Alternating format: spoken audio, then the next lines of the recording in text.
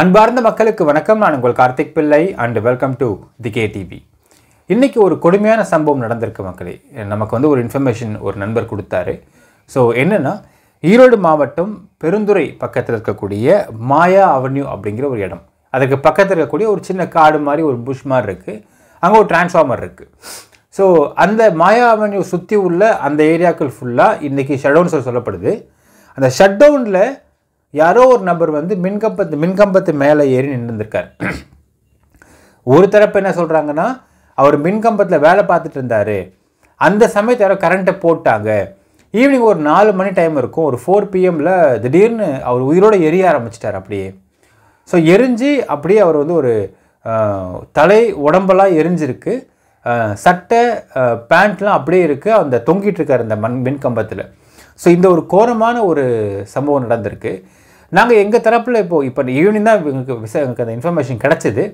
உடனே நம்ம சைடில் உள்ள நண்பர்கள் தொடர்பு கொண்டு பேசணும். கேட்குறப்ப என்ன சொல்கிறாங்கன்னா இன்னும் அவங்களுக்கு ஃபுல் டீட்டெயில் தெரியாமல் இருந்திருக்கு.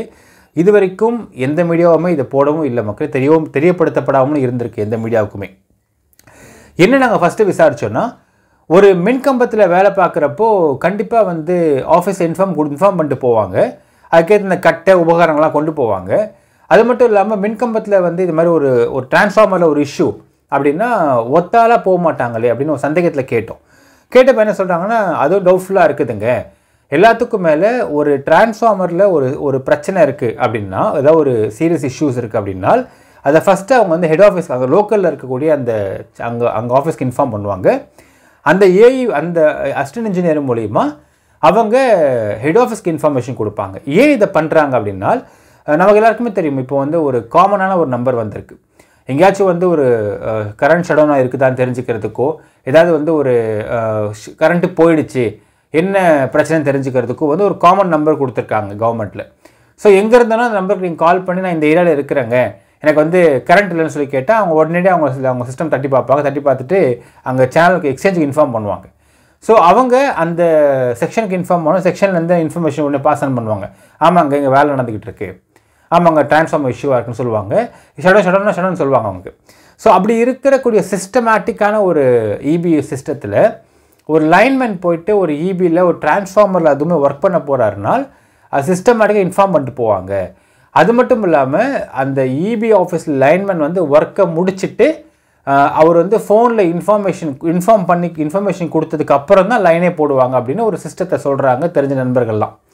ஸோ அது வந்து லைன்மேனாக இருக்கிறதுக்கு வாய்ப்பு ரொம்ப கம்மின்றாங்க. ஒன்று ரெண்டாவது லைன்மேனாக போகிறவங்க வந்து ஒரு காக்கி கலரில் ஒரு ஷர்ட் போட்டிருப்பாங்க அப்படின்னு ஒரு அடையாளத்தை சொல்கிறாங்க மக்களே.